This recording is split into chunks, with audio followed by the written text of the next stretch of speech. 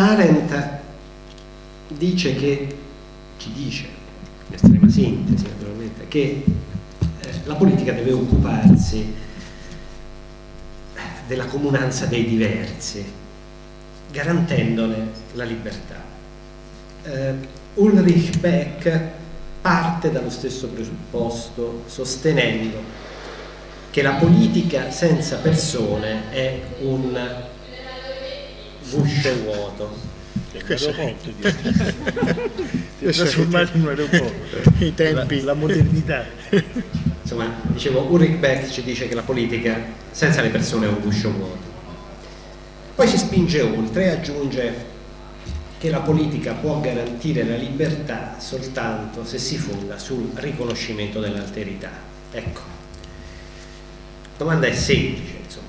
Oltre al populismo e al liberismo tecnocratico, evidentemente c'è un'altra via. Sì, io tanto ringrazio tutti voi, eh, un po' mi sento eh, anche un po' padrone di casa perché questo libro eh, insomma, è nato appunto attraverso eh, un sodalizio che da lunghi anni con Igor o con, eh, di militanza con, eh, con Franco Vittoria, quindi mi permetto di parlare come un po' eh, se il libro fosse anche il prodotto di una discussione un po' collettiva e poi anche dentro la storia, diciamo, seppur breve, di campo democratico e del tentativo che noi abbiamo fatto al congresso di tematizzare proprio la questione della crisi democratica della rappresentanza e dell'esigenza Direi nella distrazione generale io sono contento che c'è una registrazione generale, che siccome io non, non indicavo nessuna, nessun candidato, diciamo, la, la, la, cosa ha avuto poca rilevanza. Eh, io sono contento che si discuta lunedì, spero che si discuta nel, nello stesso modo come si è discusso oggi, con la profondità, la pacatezza e l'intelligenza abbastanza consueta eh, che, di Claudia, di, di di Matteo e poi naturalmente dell'autore di Igor. Io però cercherò di eh, arrivare a questo, alla, alla, tua domanda, però non posso non, non intervenire sul tema che è stato discusso oggi, perché se no c'è una discussione eh, un po' su tutto, gli stimoli sono tanti, le cose che ha detto adesso Franco sono pieni di spunti, ma insomma io vado al, sodo di quello che penso sulle cose che sono state dette. Io penso questo, che eh, un partito, come ha detto giustamente Claudia, che lei dice io voglio che sia un partito della sinistra, è un partito che rappresenta eh, il conflitto, cioè che capisce dove in una certa fase storica sta il conflitto e quando dico il conflitto sta diciamo, l'elemento bloccante di una società eh, di ossificazione delle ingiustizie e cerca di smuovere queste ingiustizie cerca, insomma io uso sempre una, di fare in modo che quelli che stanno in basso stiano un po' meno in basso, insomma ecco, ci sia un riequilibrio tra chi sta sopra e chi sta sotto. Eh, la funzione è questa ed è rivolta alle persone. Ecco, io poi alla fine se dovessi dire il succo del perché eh, ho fatto politica o del perché mi sento di sinistra, il succo è questo, perché nel rapporto con eh, gli altri eh, diciamo c'è quella che qualcuno meglio di me ha detto, l'insopportabilità del, sopruso, dell'ingiustizia, è una rivolta che è persino, diciamo così, eh, istintuale, eh, fisica persino, più che teorica, è che si arriva alla sinistra che si leggono i libri, arriva alla sinistra poi si leggono i libri, ma perché c'è questo eh, sentimento e questa spinta. Il tema della crisi nostra, secondo me, è che a un certo punto noi non abbiamo più capito dov'era il conflitto e dov'erano le vere ingiustizie. Questa è stata la crisi anche della nostra forma partito, perché è anche della nostra funzione nazionale democratica, perché mentre nel dopoguerra abbiamo diciamo, ben capito che cosa dovevamo fare e dove diciamo, il, il, il, dente duole, e a un certo punto, ma questo adesso sarebbe lungo parlarne per quello che è successo nel mondo, la globalizzazione, le cose che abbiamo detto, eccetera, eccetera, eccetera. Noi abbiamo perso quella penetrante capacità di capire dove le persone soffrono, di che soffrono e quali soffrono. E, e questo ci ha reso molto impotenti e quindi ha messo fuori gioco, fuori asse la nostra politica, è diventata una politica, io qui sono molto critico, lo sa Matteo, via via sempre di più una politica che non decide e che non ha consenso. Quindi, che non decide e che non ha consenso. E quindi da qui, perché non è che ci sono le correnti e c'è la degenerazione dei comportamenti, perché adesso siamo tutti più cattivi, ci sono le correnti e c'è la degenerazione dei comportamenti e che via via noi abbiamo eh, diciamo sempre di più perso una funzione attiva, propulsiva e quindi anche persino come dire gratificante per chi poi si impegna su quel terreno e via via abbiamo vissuto il tram tram che ci porta poi alla fine a vedere anche ognuno i cavoli propri e questo è, fa parte diciamo dell'animo umano.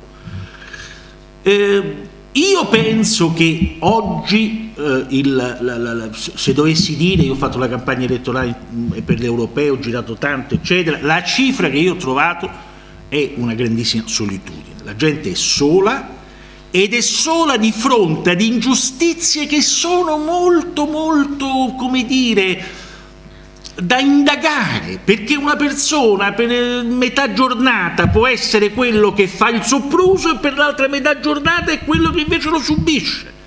E quindi c'è un carattere poliedrico, molto complesso nel capire, ecco, dove noi dobbiamo poi alla fine appigliarci per svolgere una funzione positiva.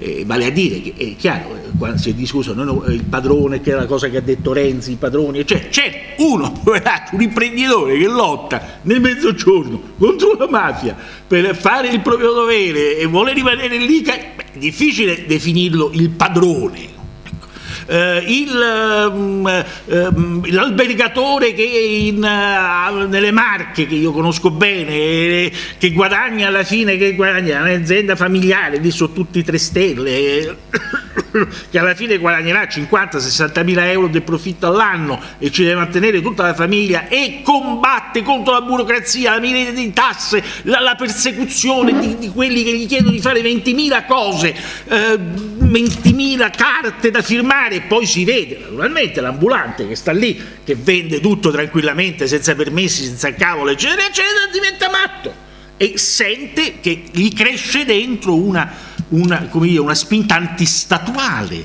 e comunque subisce un'ingiustizia. E quindi vedete come è complessa. Ecco, vabbè, adesso non la voglio fare lunga. Solitudine e nuove ingiustizie, ingiustizie orizzontali, trasversali, estremamente pervasive e difficili da raccogliere. Noi siamo di fronte a questa situazione. Adesso l'ho detta naturalmente con la rozzezza di una e in queste ingiustizie, c'è, anche il fatto che poi questo paese, la parte vitale di questo perché l'Italia è vitalissima, che vorrebbe rispondere in positivo a questa cosa, si trova di fronte a un paese dominato dalle rendite, in tutti i campi, compreso il campo nostro. Anzi, il nostro campo è pieno di rendite. Perché adesso si discute dell'Emilia Romagna, vedremo come andrà a finire la vicenda dell'Emilia Romagna, eccetera, eccetera, ma noi sono anni che in quella società, e basta vedere bene l'inizio di certe difficoltà elettorali, di certe primarie andate in un certo modo, di certa crisi dei gruppi dirigenti di lì, è da anni che quel sistema e quel compromesso è diventato un sistema, un compromesso di rendite politiche, anche ed economiche, e, e, e c'è tanta gente esclusa, tanta gente esclusa, a partire dalle giovani generazioni.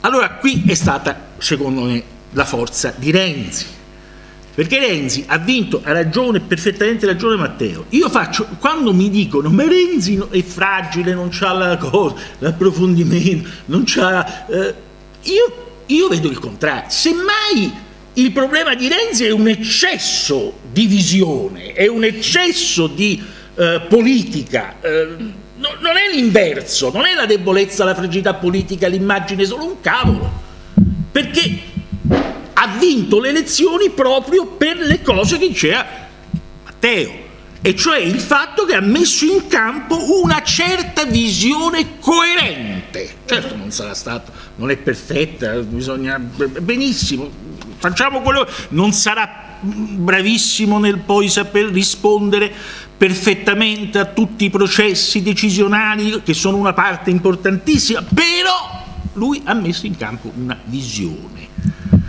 Cioè ha detto io vorrei che l'Italia fosse così, ma quanti anni sono? Che noi non diciamo una cosa di questo genere. Noi abbiamo fatto quattro giravolte nella decisione, senza mai riunire la direzione. E oggi io sento una critica sul, sulla democrazia interna del partito. Io non ho mai visto la direzione del partito funzionare come ha funzionato in questi mesi. Pure troppo. Abbiamo discusso tutto. Poi certo, chi perde in si ingrugna, cioè c'è la discussione, eh, si, è chiaro, non ci sono le relazioni omnicomprensive dove non ci si capisce niente, c'è il dilemma sul quale scegliere e poi la maggioranza sceglie. Ma noi abbiamo, dopo le elezioni, detto, detto che avevamo vinto, volevamo fare il, il governo del combattimento, del cambiamento, non mi ricordo come si chiamava, contro Berlusconi. Poi abbiamo detto Marini con Berlusconi, poi abbiamo detto Prodi contro Berlusconi, poi abbiamo fatto il governo con Berlusconi, non abbiamo rivolto, mai riunito la direzione del partito ci vuole anche una certa misura. Quando abbiamo riunito abbiamo votato un documento e diceva decidano con l'Italia. Sì. ecco, l'unica volta... il dibattito perché era più prudente. Perché era più prudente non fare il dibattito. Quindi. Scandaloso, quello è stato un Esatto. Scandaloso. Ora qual è il problema? È che questa ripresa di decisione politica, che io non so come andrà a finire, comunque io apprezzo che io apprezzo e sostengo, e si, però sta su un crinale. E secondo me il crinale è esattamente un po' la discussione che abbiamo fatto oggi. Perché sta su un crinale? Perché questa decisione politica, e cioè questo impulso che Renzi sta dando al, al movimento politico italiano, è come un cazzotto dato su una ragnatela molto fragile. Perché il paese è così. La democrazia del paese è fragile, le istituzioni sono fragilissime ed è soprattutto tremendamente fragile il rapporto di fiducia tra la politica e la gente, i cittadini. Quindi il pericolo che questa cosa si trasformi in quello che è poi la sindrome di chi, eh, perché poi la politica è sempre, no? è, è, decisione, la politica è decisione, la politica è lì, è, si erge un po' contro la storia, cioè contro il ripetersi delle cose, è sempre un elemento che ha queste caratteristiche, però quando a un certo punto, e qui qualche elemento ci può essere, se facciamo una discussione molto tra di noi in questo momento, e, e cioè quando a un certo punto chi vuole fare le cose vede che la realtà non gli risponde, perché? Perché ci sono le rendite, perché ci sono le conservazioni, perché il partito una parte eh, ha la nostalgia, perché eh, la società è friabile, perché comunque è una società profondamente quella italiana, diciamo, rinchiusa in se stessa in molte parti, certo c'è anche grandi spazi di generosità e di creatività, ma è anche questo. Il pericolo è che si incominci a pensare che la colpa è della realtà. E quindi ci si incaponisce. E, e incaponendosi si può avere una sbandata di tipo volontaristico, non uso il termine autoritario, ma di tipo eh? Concordo. volontaristico. È qui che noi dobbiamo inserire lunedì la discussione sulla sulla, sul partito, perché è questo il punto, cioè il carattere politico, è questo. Oh, fino adesso la segreteria del partito chi si è occupato di queste questioni? Renzi non se ne è occupato. Chi si è occupato nei mesi passati di queste questioni ha lavorato su uno schema, che è quello del compromesso tra lasciate perdere Renzi e nello stesso tempo però nei territori io lascio le cose come stanno, anzi certe volte fa, hanno fatto pure più confusione perché si, eh, non bastavano le correnti, io ho visto Guerini ne, ne, benedetta una nuova qui a Roma. Beh, due, tre. Eh, no, due, tre. No, a Roma una nuova, perché non bastavano quelle che c'erano. Eh, quindi, è evidente quindi c'è un'insufficienza di direzione politica su questo terreno e sono contento che adesso Renzi se ne occupi e voglia affrontare la questione. Vedremo come andrà la discussione e dovremo dare tutti un contributo. E secondo me, e chiudo, come, in che, che curvatura deve avere questo tema? Deve avere, secondo me, una, una curvatura nella quale, proprio partendo dal carattere solitario, un po' solitario e diciamo variegato e contraddittorio della realtà sociale, noi, come a me mi hanno insegnato fin da quando ero ragazzino, dobbiamo andare a calcomania su questi, saper leggere questi conflitti e andarci a calcomania, ma cal con la forma partito. Ma come ci si può andare a calcomania? Soprattutto tenendo conto che la gente è così sfiduciata, è così insofferente. Io penso che non, non si può altro che fare coinvolgendo le persone, quindi non le correnti, le persone che sono quelle che vivono questa contraddizione e la vivono nelle forme più varie, più, ripeto, più certe volte conflittuali, più diverse, più molteplici, coinvolgerle in uno sforzo, direi in un'azione dove noi mettiamo in campo un surplus di politica e cioè coinvolgerle non nella propaganda, nell'indottrinamento, nella semplice partecipazione, ma nel momento della decisione politica. Cioè io penso che si possa ricivilizzare e ripoliticizzare la società civile, quindi ricivilizzare la società civile che è abbastanza incivile, solo attraverso questo tipo di operazione coraggiosa cioè di eh, rirendere diciamo, eh, forte, chiaro il dibattito politico, il conflitto politico, facendo, ri, rimettendo dentro un processo che è quello messo in campo da Renzi nei piani alti della politica anche sul terreno diciamo, della, della, dei cittadini, quindi dal basso che è stato poi il grande tema che D'Alema disse, noi abbiamo peccato di riformismo dall'alto, sì, abbiamo peccato, di perché non c'è stato questo processo. Sì. Dopodiché, tu dici, eh, vabbè, ma attenzione, perché qui è pericoloso, perché siccome le condizioni sono queste, qui può darsi che noi vogliamo arrivare ad A e invece ci portiamo il treno a C. Ecco. E io però qui rispondo in due modi cioè se non si inizia, non si fa mai niente. Anche il voto alle donne è stato un azzardo. Ci fu un dibattito, una parte del nostro, della sinistra diceva che dovevano votare donne, perché avrebbero votato a destra e democrazia cristiana. Non era un motivo per non fare questa operazione democratica. Quindi, eh? Sì, l'ultimo paese. Quindi, Quindi un azzardo. Sì, vabbè, insomma, hai capito in che senso. Quindi era anche uno dei paesi più arretrati, insomma, quindi io penso che, eh, naturalmente adesso non, non, è che voglio ritornare in tutti i dettagli di questo che, che è stata la nostra ricerca, il nostro sforzo, la nostra battaglia sul campo democratico, però io penso che un partito dove noi chiamiamo leviamo tutte le cose, diciamo, le intercapedini burocratiche, le correnti, facciamo dei bei centri di studio, di ricerca, delle aree politiche che producono idee. E poi sulle questioni fondamentali facciamo non dei referendum, perché questo è un po' povero, ma qualcosa di più, cioè un'operazione culturale rivolta al Paese, cioè istruiamo grandi dibattiti che portano a decisioni politiche eh, sulle questioni fondamentali che riguardano il futuro dell'Italia dirette dal gruppo dirigente, ci, posso, ci può arrivare anche a un conflitto.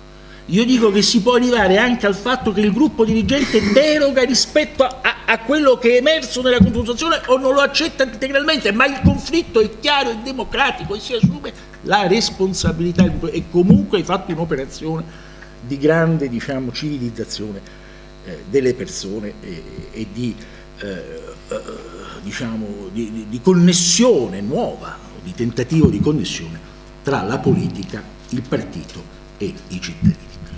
Eh, che c'entra tutto questo con il libro di Vittoria? C'entra moltissimo, perché il libro di Vittoria è eh, tutta una diciamo, ricerca attorno ai temi della democrazia, della perdita di senso, eh, della, di, degli effetti della globalizzazione, quindi c'è dentro la crisi di fronte alla quale noi stiamo Io sul libro, lui lo sa, faccio solo due osservazioni, che non sono critiche, ma sono due osservazioni. Sulla globalizzazione eh, noi dobbiamo stare attenti che la globalizzazione ha fatto, ha fatto molto male all'Europa, ma miliardi di persone stanno molto meglio, ma molto meglio. Ecco, basta, ecco, basta viaggiare e uno se ne accorge. Eh, stanno molto meglio. Anzi io dico sempre che la globalizzazione è un po' eh, come, eh, come l'industria autocentesca, che doveva essere il momento massimo di profitto per quanto riguardava naturalmente eh, le sorti del capitalismo e poi però, certo lo è stata, però ha creato l'antitodo al capitalismo stesso, perché poi ha, ammassato gli operai, i lavoratori eh, in un luogo e da lì ha preso coscienza, la lotta, eccetera, e le cose che sapete. La globalizzazione è stato un momento massimo, diciamo, di massimizzazione dei profitti, ma anche lì c'è il diavoletto, perché ha messo in moto miliardi di persone che prima erano completamente escluse dalla storia. Eh, sanno come viviamo noi, eh, sanno quali possono essere i livelli del consumo e del benessere, eh, cominciano a sognare, ad avere aspirazioni, poi vediamo, nel senso che evidentemente questo può portare a storture, cioè, ma generalmente il livello di vita è molto più alto e si è eh, battuta la fame in continenti enormi o comunque una parte di queste popolazioni è uscita dalla fame. La seconda osservazione è quando il libro si ferma molto sul tema, si sofferma diciamo, sul tema della necessità di un ritorno, persino in un certo momento tu dici che le persone hanno bisogno di una verità. Ecco, io eh, su quello vado sempre anche su quello, perché eh, bisogno della verità purtroppo, eh, perché eh, la verità in, in quanto verità eh, esclude tutte le altre verità e quindi c'è sempre un elemento di violenza dentro di sé. Eh, e quindi io quando penso alla nostra ricerca, al nostro lavoro, io preferirei parlare di visione, preferirei parlare di una cosa cioè che accompagna però anche con il dubbio, con l'apertura di, di un processo che che rivede continuamente i risultati, li verifica, aperto diciamo molto ad una integrazione delle visioni dell'altro. Il termine verità mi dà sempre un, un, senso di ristrettezza. Capisco quello che vuole dire Franco e, e lo cita in riferimento, mi pare, a chi, chi, tu citi qualcuno, adesso non mi ricordo. Beck, sì eh, su questo, ma io ripeto, ogni verità esclude le altre e, e quando succede questo, in ogni verità c'è sempre l'inizio di un processo violento della politica.